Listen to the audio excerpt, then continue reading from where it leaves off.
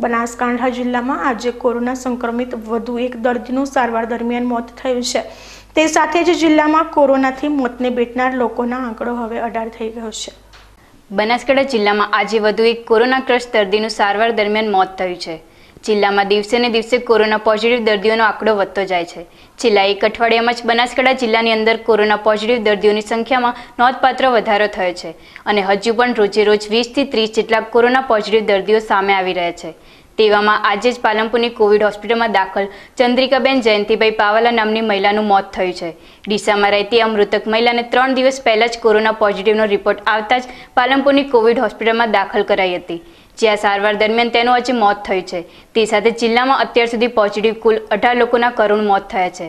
બનાસકાંઠા જિલ્લામાં રોજે રોજ વધતા જતા કેસો અને મોતના કારણે હવે લોકોમાં પણ ફફડાટ ફેલાયો છે.